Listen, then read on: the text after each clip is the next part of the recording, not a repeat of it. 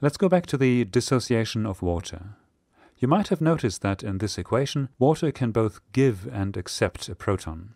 Let's color the two water molecules in to keep track. When water is a proton donor, it acts as an acid.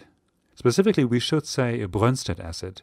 There is an alternative understanding of acids and bases, but it's not so useful in biochemistry. So, a Brønsted acid is a proton donor. The deprotonated acid is called the conjugate base. Similarly, when water acts as a proton acceptor, it acts as a base, and the protonated base is called the conjugate acid.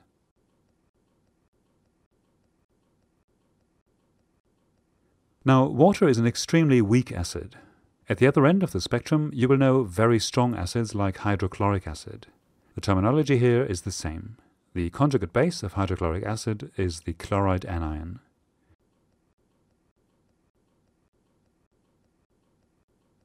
The equilibrium here is almost completely on the right side.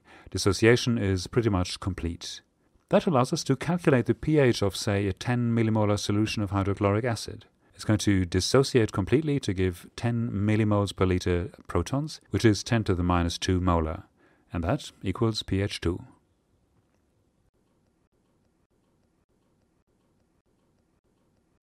The situation is very different for weak acids like acetic acid. Here, the equilibrium is much more on the left side, only a small proportion of the acid molecules dissociate.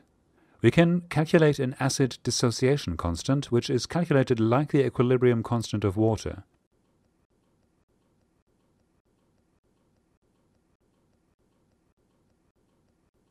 That dissociation constant for acetic acid is 1.76 times 10 to the minus 5 molar, or expressed differently, 10 to the power of minus 4.75.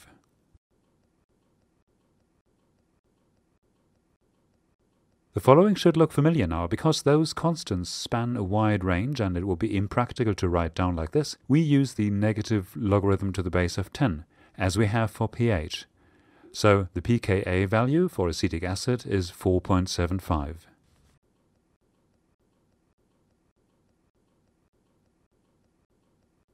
If we want to do the same thing as we have done for hydrochloric acid and calculate the pH of a 10 millimolar acetic acid solution, we have to put in a bit more work. We can no longer assume that the 10 millimolar will dissociate completely, so the proton concentration is unknown.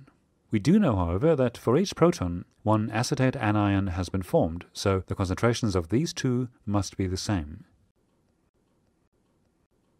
To find out how much undissociated acid there is, we have to subtract this value x from the total concentration of 10 millimolar. This means now that we can insert all these values into the equation above. What we get is a quadratic equation with just one variable, and that can be solved.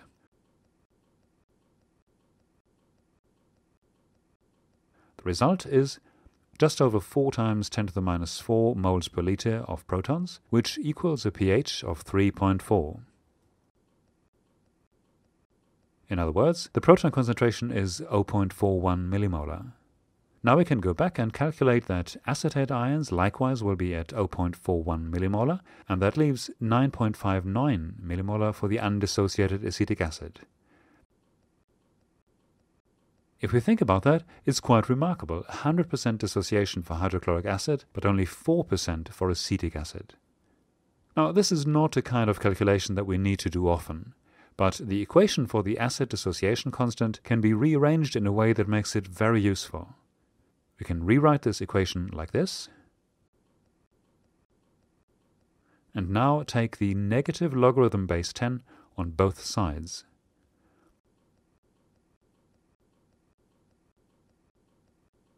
The proton concentration becomes the pH, the acid dissociation constant now becomes pK, and the ratio of conjugate base to acid concentration becomes this term in brackets.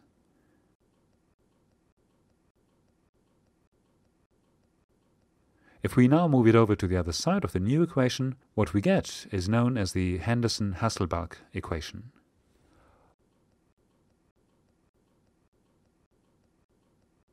One thing that becomes clear straight away is that if the term in brackets equals 1, the log becomes 0. In other words, If there is an equal concentration of acid and conjugate base, pH equals the pK of the acid.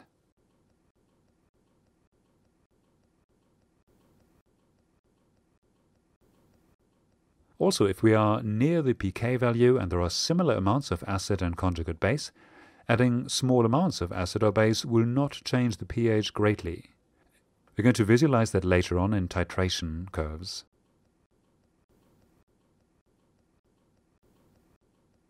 This stabilizing function of weak acids and weak bases is a buffer function.